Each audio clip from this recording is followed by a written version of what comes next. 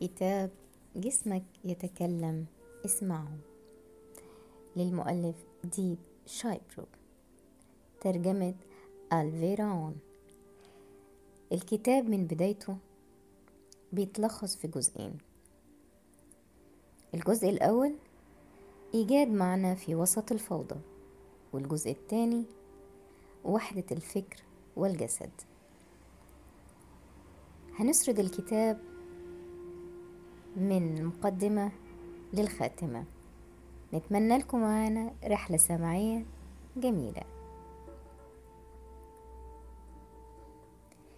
كانت جيني في الخامسة والستين من عمرها لما تعارفنا وكانت قد كسر ثلاث مرات خلال حياتها ودائما في المكان نفسه.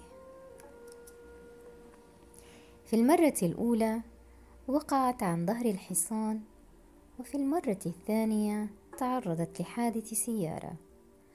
أما في المرة الثالثة فسقطت على السلم. وقد فصلت سنين عديدة بين هذه الحوادث.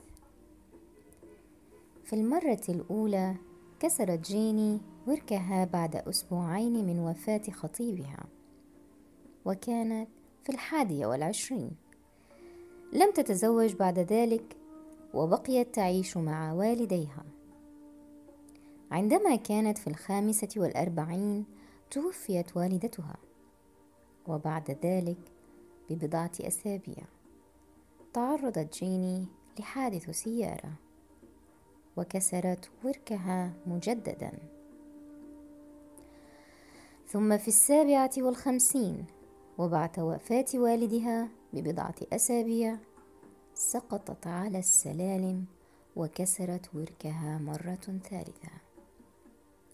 كل مرة كسرت فيها وركها كان ذلك بعد وفاة الشخص الذي تعتمد عليه عاطفيا أكثر من غيره. بعد كل حادثة وفاة كانت تنقل تبعيتها العاطفية إلى الشخص التالي من خطيبها إلى أمها فأبيها. عندما تنبهت جيني التي تستخدم الآن العصا للسير إلى هذا النمط وإلى العلاقة بين الحوادث الثلاثة ووضعها العاطفي صممت على الانفراد بنفسها في مكان منعزل. مبرر ذلك بقولها لكي أكتشف من أنا بحيث أتمكن من السير بمفردي ولو لمرة.